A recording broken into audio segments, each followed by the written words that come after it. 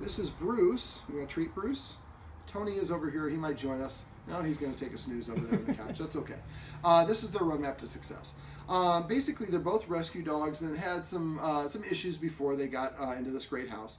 And he's a little bit nervous, and I think the guardians unintentionally were enhancing the nervousness by petting the dogs when they're uh, in an unbalanced state of mind, which is a very common mistake a lot of people make. And so just knowing not to do that will help accelerate the process because we're not going to continue contributing to what was making them nervous. Now, there are other things that are making them nervous as well that we went over off camera. Uh, we're going to talk about some of those in this video. So to help the dogs uh, st- uh, start getting petted uh, more, more appropriately, I went over petting with a purpose, which is simply asking the dog to sit or lay down or do something before we pet it if it initiates contact. So if he comes up and sticks his nose under my arm and nudges me, he's or scratches at me or jumps on me, he's telling me what to do. So that's contributed to him thinking that the world, he's in charge of the world. We don't understand the humans are in charge. You don't have to worry about it. We're, remove the burden of responsibility. So if he nudges me, instead of petting him for doing what he told me to do, I'm going to give him a counter order, tell him to sit. When he sits, I like to pet him under his chin to facilitate a nose up orientation. When a dog feels good, its nose is up or parallel to the ground. If you pat a dog on top of the head like this, you see the nose going down. That's something that insecure dogs do. So whenever we're petting him for with a purpose or for passive training, we always want to pet him under the chin. Now, if, if, if his butt is here, his head is here, I can scratch his butt too. We just don't ever want to pat on top of the head. But whenever possible, try to go out of your way to do it under the chin. And say just the command word. So if he sits, I pet him and say sit. If he lays down, I pet him and say crash or whatever the word is. Don't say good crash or good boy Bruce, just sit, crash, whatever it is. Yeah, I'm telling him. Um, all right. So um, that's uh, uh, petting with a purpose. Uh, now, if we come in the room, we see someone's petting the dog and, the dog is standing, we say, ah, paycheck. Paycheck just means I think you may have forgotten to pet with a purpose. The person stops petting, we tell the dog to sit, and then we pet, and then we say, David told me I could pet after he sit, uh, sit you know, even if he stands up after I make him do it first. And he, as soon as you heard the close the door, he stood up and I continued petting him. David said it's okay. So they just have to change their state or prepay for it. So if he comes over to me and sits down in front of me, that's a polite way of saying I'd like your attention. I want to make sure I recognize and appreciate that because otherwise he's going to go back to scratching or reward, uh, doing the other things that got him attention. So basically, every time that uh, the dog prepays, I'm going to reach over and pet them. And that's what leads me to what I call passive training. Passive training is simply narrating whatever the dog happens to be doing. So the dog comes over to you on his own accord. You didn't call him. He did it organically. Just pet him under his chin and say, come. Dog lays down next to you. Pet him and say, crash. Sits down, pet him and say, sit. Brings you a special toy, brings me a lobster. I might say lobster every time he brings me the toy of lobster. After a while now I can say lobster and he goes and gets that specific toy for me. So the more that we reward dogs for desired actions and behaviors um, and redirect them into things that are desired, the more they're going to emulate those moving forward. Uh, and this will help us add a little bit of structure to mealtime, or uh, to, uh, to treats and attention, and also it makes it more valuable to him. If he feels like he earned this attention, then he feels a sense of pride, and that will help with his self-esteem issues. Now, he's a little bit more nervous uh, than his buddy over there, and so one of the things I recommend the Guardians do is go to YouTube or Google and search for easy dog tricks. Don't, like I said, don't do the shake, but find some other ones that are really easy to do. Don't do the really hard ones we might set up a follow-up session to work on the heel, and heel and stay are very difficult. They take a lot of practice. Teach your dog to roll over. Teaching, you know, I have, uh, well, I don't do this. I have a little dog, right? I, instead of doing a shake, I say pound. I hold my hand out, which I think is cute when little dogs reach up to do that. Um, but again, it promotes jumping up, so that's why I wouldn't do the shake or the pound for now. But if you teach them bang, you're dead, or whatever these are, each time you teach him a new trick, that's going to boost his self-esteem. And if he can get to the point where now he knows 10 different commands, right now he only knows a couple. And so it's hard for him to have much self esteem. So the more that we teach him, the better he's going to feel about himself. Also, the more engaging he's going to be, we can direct him to do things. That's one of the things we went over in the session is how to create a name for a dog bed. So we have a dog bed over there we're calling Cancun. We just take a treat, toss it on the dog bed. When he goes over there, we say the word. Remember, anytime you're getting a treat, he needs to get the treat in his mouth first, and then hear the command word after the treat goes into his mouth. Um, so the first way we do is we toss it on the dog bed, let him go get it, and say the word Cancun. After a while, uh, the other way we do it is we leave one there when he's in the next room, and he comes in, he sees the dog treat, and he goes and gets it, and we say the word Cancun. And if he gets it when you don't see him, that's okay, because he's still getting a positive reinforcer. The third way, I might touch his nose with the treat, lead him over under the dog bed, put him in a sit, then pop the treat in his mouth and say Cancun or lay down. Now, these are to entice them to go there. After a while, they're going to start going there on their own. When they do, if you don't have any treats, you just say Cancun. You reach over and pet them if you can do that without them getting up. Well, if we have a treat, we toss a treat. So what we want to do is now we're going to reward you for going to Cancun. Now we're doing this in conjunction with taking away the couch because that's one of the rules, uh, part of the structure that we're adding in terms of more discipline. So the dogs see a literal distinction between the humans and the dogs because the, do- the humans are up here and the dogs are down there. Um, so the furniture should be no furniture for at least 30 days. And then after that, only for good behavior and with invitation. So if I invite him up and he starts barking, he has to get down. Now I say 30 days or as long as these problems are still going on. So until he's more relaxed, he's not chewing stuff up and we don't have those problems, it might go longer than 30 days. Sometimes they go 60 days, 90 days. And some people decide, you know, I kind of like not having the dogs on the couch. Now these are little dogs. I'm pretty sure the guardians want to have them on the furniture. So it's just a short-term uh, uh, uh, break from doing that. Now they do uh, like the dog sleeping with them, and they want to continue doing that. So I just said that that should be only with an invitation, and again for good behavior. On the couch and they start barking, you have to get down. Uh, let me see another rule: they have to sit before they go through any door. Remember, double the length of time. Sit one, two, three. If they don't sit within three seconds, walk away. Wait one minute, then go back and again tell them to sit. They don't walk, then I walk away this time for two minutes. Next time for four minutes, then eight minutes. So I keep on doubling the length of time. And eventually, what will happen is the dog will go prepay for that as well and go sit down at the at the door saying, "I want to go outside." Now they're giving us a visual indicator. I want to walk or whatever it is. Now uh, the dogs are getting a walk a couple times a week, but uh, and part of the uh, problem is they're they're they're not big fans of leash.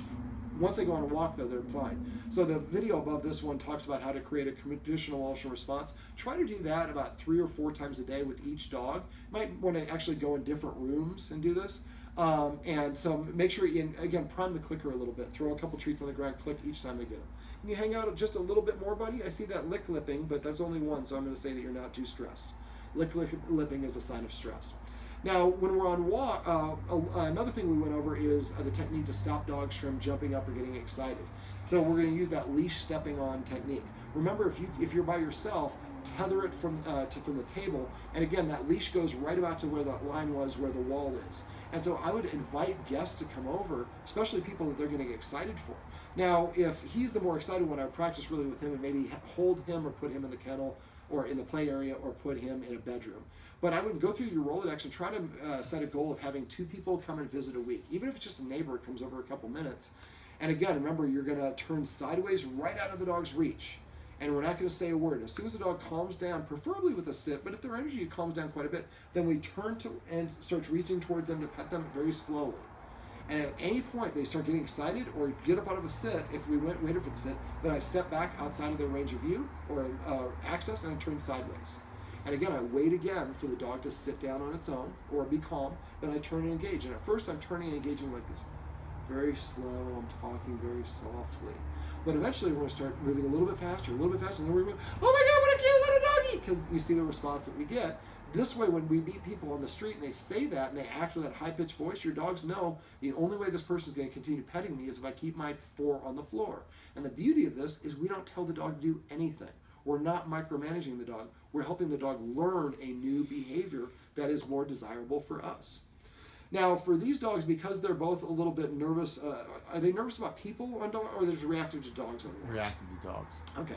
So if you see your dog looking at another dog and it turns its head to the side, or turns its body away, it's saying it's tr- saying I want to move. I don't want to get any closer to that dog. If you continue walking towards the dog when your dog does that, sometimes that elicits the response.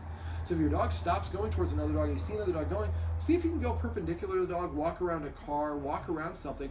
If you continually, a lot of people put their dogs in jeopardy. So dog thinks, oh, we're going on a walk, they're going to throw me in all kinds of dangerous situations. So I have to be on a heightened sense of alert. So we want them to, we want to recognize if we see another dog, that's why I mentioned the guardians practicing U-turns. So if you want to practice the U-turn for no reason whatsoever, so if I got, and this would be easier if you only have one dog at a time. So maybe you're walking them separately. And what you're doing is if I have the dog on this side, when I get to turn, I kind of crouch down and I hold the treat right in front of me. So he looks at it. As he does this, I kind of lead him as I turn. And once we turn completely, I pop it in his mouth, say the word turn. And I take four or five steps this way, and I repeat the process. So we're basically walking this way, doing kind of an oval, do another or another turn, and then going back the original direction. So the more we want to practice again without without any dogs or any reason for them to be reactive. If you only do it when you see a dog, then that that triggers a response. Oh, another dog's around. Who should I bark at? Uh, and uh, remember, anytime you see a dog that they're reacted to, we want to increase the distance and we want to put something to visually block them from doing it. So go around a car or a shrub. Palm trees don't work very well because they're so thin. Uh, but look for a way. If you have to, just turn around and walk the other direction until you find a driveway or a car, something you can move around. If your dog is trying to, when they bark at the other dogs, they're trying to increase the distance. They don't like that dog being so close. So they're trying to bark to make the other dog move away. Well, we can achieve the same result by turning and walking away ourselves. Now, I think a lot of this is because they think that they are uh, in charge of their humans. So the more that we enforce rules and boundaries consistently, and pet with a purpose, and eat before we eat them, uh, feed them. Uh, another rule would be they shouldn't be within seven feet of anyone's eating. So remember, if anyone's eating in this couch area, they should not be in this little C area. Um, and the more that we enforce those things, the more they uh, gravitate towards the follower position, the less reactive they're going to be on walks. Um, let me see what else. We went over a leadership exercise on the floor. If you guys forget how to do that and you would like to practice some more, message me and I can share a link where I've uh, described all the ins and outs of that video. You can watch somebody else doing it. It's really to help you remember the three, uh, the four escalating consequences. Remember, hiss before the dog does the wrong thing. Uh, and, and, only one hiss per incident, and match the intensity of your hiss to the dog's what energy level. And only hiss if, if he might be more sensitive than Tony. So we might have to hiss at him more than we have to hiss for Tony, uh, or at a louder level. But you hiss before the dog does the wrong thing. Once they're barking, the hiss is not the appropriate thing to do. Second thing we do is we stand up abruptly, turn to face the dog, and keep our belly button pointed at the dog until it turns sideways or until it sits. That's the next step. Until it stands stationary, sits, or lies down, or leaves the room. And then I can go back to do what I'm doing. The third concept, or, or uh, no, I'm sorry, as soon as it sits, and we take two steps backwards, pause for one second at the end to say, period, we're done with that conversation. Then I can do my thing. And when you do this, make very deliberate, sudden movements and then freeze. That, that kind of staggered motion is what t- show tells dogs that we're communicating, not just meandering about. So the second consequence, stand up abruptly, turn to face the dog until it's stationary, then take two steps backwards, and only two steps, pause one second, and then go back to doing what you're doing. The third consequence is to march directly, deliberately at the dog, wherever the dog goes, until the dog turns sideways or greater. As soon as the dog turns sideways, you stop, keep your feet together, and now you to the second consequence, you're pivoting until the dog's stationary, sits or lies down, take those two steps backwards, pause again, then go back to doing what you're doing. The only time that wouldn't apply is if the dog is in a designated no dog zone. So let's say the dog's not supposed to be in this area in front of me, and I get up and march at it, he turns sideways right away, but he's still in the designated no dog zone I keep marching at him until he crosses the line. This is why we establish invisible boundaries and perimeters. The fourth consequence is putting the dog in a leash timeout, stepping on the leash, in his case about two feet away from where it attaches to his harness, in his case about a foot away. And I don't give the dog any directions. As soon as the dog sits, I take my foot that's on the leash and slide it towards him to take the tension off. And I'm not telling him to sit. When he sits, he's saying, I'm challenging you less. And then when he lays down, I take my foot off very subtly off the leash. Because when he lays down, he say, I surrender. And what we're trying to tell him is help him understand is when he surrenders, good things happen. We're not going to force him to surrender. We're not going to punish him if he doesn't surrender. We're just going to reward him when he does. Again, we only want to utilize positive dog training. Um, at first, you're going to have to hiss, and then and then after we take our foot off the leash, he gonna, he's going to get up and eventually drag the leash when he walks away. That's dangerous, unsupervised. So never do that unsupervised. But if a minute goes by, and he starts barking as he runs by, you step on the leash again. Or if a couple minutes go by, you take the leash off. It's not a quid pro quo. And what we're teaching him is you're gonna, if you're defiant, you lose all freedom, and you return to a completely calm and balanced state of mind. Freedom is restored. Um, so, and same thing when we come home from work, we're going to do the exercise with a leash. But at any time that the dogs get really excited, we're going to stop doing whatever that thing is and move away from them whenever possible. Remove the object if we can. We want them to understand that overexcitement is not happiness and overexcitement results in the stoppage of things. Just because when dogs are overexcited, that's when they're going to make the most mistakes. We want them to be calm and balanced. I see that yawn, but I, that's just one. Yawn can be a calming signal, or it can be saying I'm stressed out.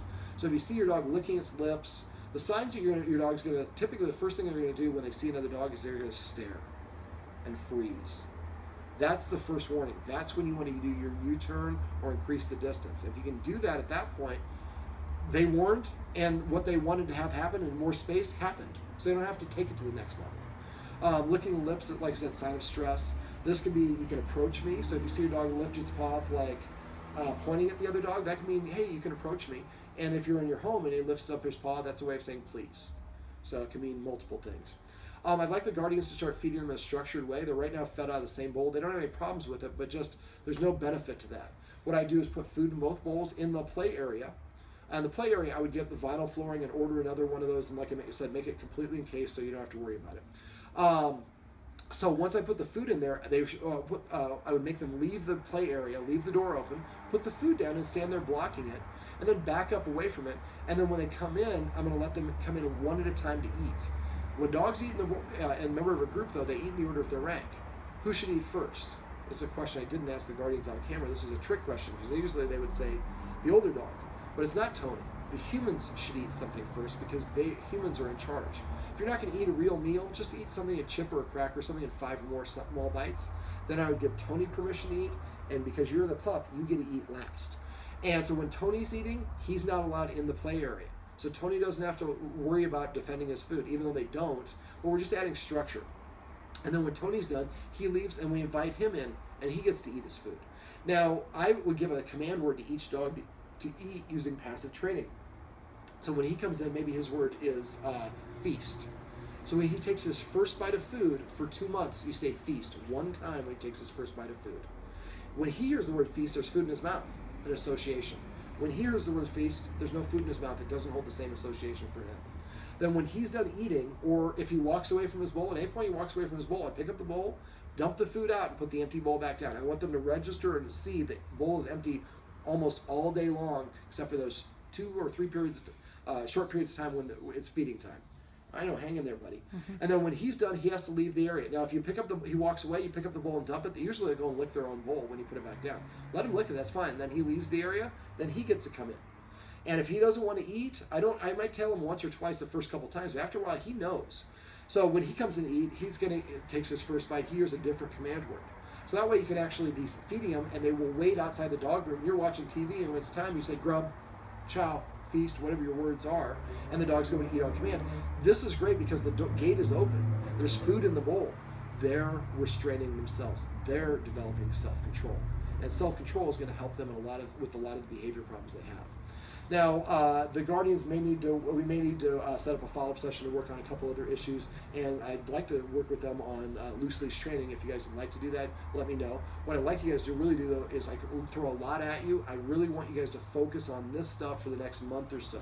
I'll give you a call in a week or so to check in. I'll give you a call once we do the write-up to see how things are going. Then I'll call you, or I'll have my assistant call you in a week before my calendar gets too booked up, so we can get you on the calendar if you guys want to set something up. And we'll fill, uh, you know, brush up on anything from here, as well as do any training stuff that you guys want to cover.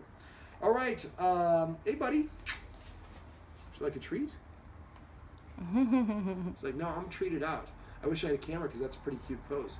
All right, well, this is, um, and why am I blanking on your name? Bruce. Bruce, that's right. Bruce and Tony, and this is their roadmap to success. Remember, everything you do trains your dog, only sometimes you mean it. Isn't that right, Bruce?